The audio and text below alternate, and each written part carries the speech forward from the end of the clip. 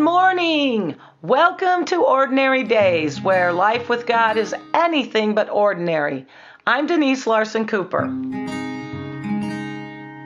There is a comfort in knowing what to expect each year. Every year, I can predict my day at the Chicago Style Gymnastics meet in Chicago, Illinois. This event is one of my favorite meets of the season. I look forward to it every year. I have an opportunity to see old friends and encounter new ones. But this year, the meet presented something unexpected.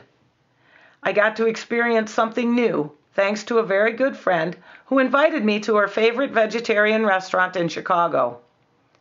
I ordered a buffalo chicken wrap made with meatless chicken. Yes, I know that seems to be an oxymoron. However, this vegan meatless chicken tasted very similar to chicken. After all those years of not tasting meat, my taste buds were shocked by the taste, and I began to question whether this might actually be meat. It was shocking to taste meat. It was also a delicious surprise.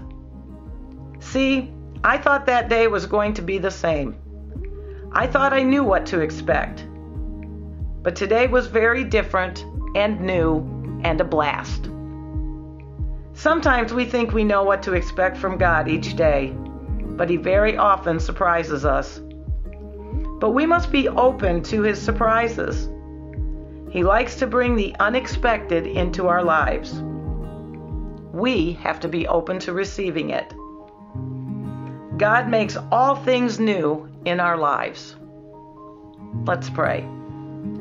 Father, help us to expect the unexpected from you and enjoy the surprises you bring to the faithful. Amen. Thanks for listening. Have a great day.